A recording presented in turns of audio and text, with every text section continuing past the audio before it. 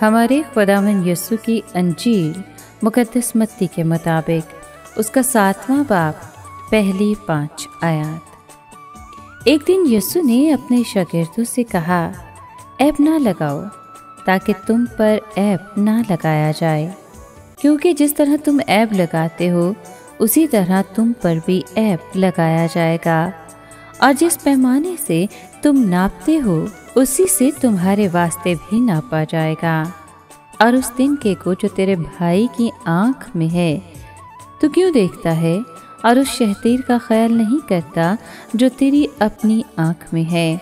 या क्यों कर तो अपने भाई से कह सकता है कि ठहर, मैं उस तिनके को जो तेरी आँख में है निकाल दूँ। और देख खुद तेरी आँख में शहतीर है।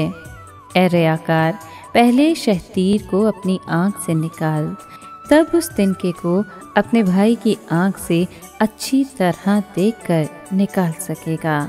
पाकलाम के पढ़े और सुने जाने पर खुदावन की बरकत हो। खुदा का शुक्र हो।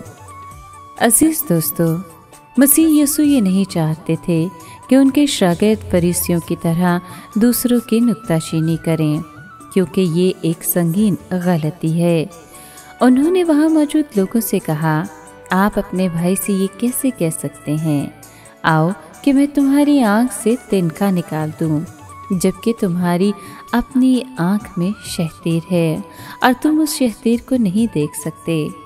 रयाकार, पहले अपनी आँख से शहतीर निकाल लो फिर तुम्हें साफ़ नज़र आएगा कि तुम अपने भाई की आँख से तिनका कैसे निकालोगे।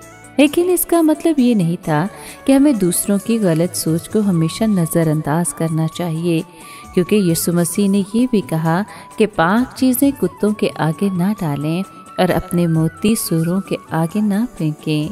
खुदा के कलाम की सच्चाइयाँ कीमती मोतियों की तरह हैं। जिस तरह जानवर मोतियों की कदर नहीं करते, इसी तरह कुछ लोग पाक कलाम की सच्चाइयों की कदर नहीं करते।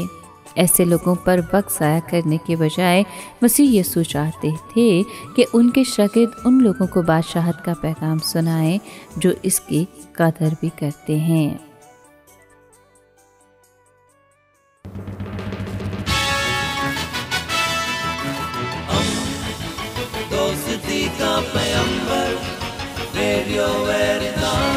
एशिया